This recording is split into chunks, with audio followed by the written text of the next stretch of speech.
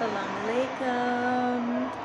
I'm no longer a Christian reading Quran. I am now a Muslim reading mm, Quran. mashallah. Alhamdulillah, I am Muslim today.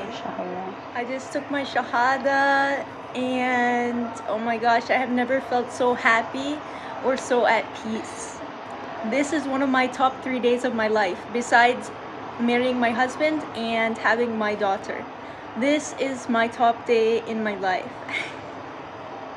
Alhamdulillah that Allah He guided me here, that He guided me back to Him, to the truth, to my true path.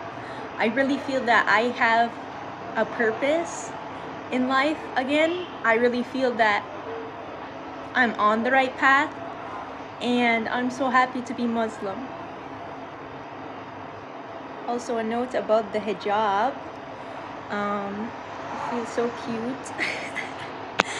I really feel I feel more beautiful in hijab, wallahi. Um, I'm walking through the streets and I feel like a queen with her crown. Um, I haven't made this decision to be full-time hijabi, but today I tried it and I really like the feeling. So inshallah, Allah will help me with that in the future.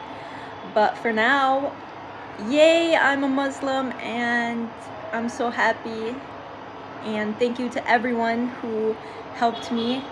And may Allah give you Jannah and reward you for all that you've done and for all of your support and love.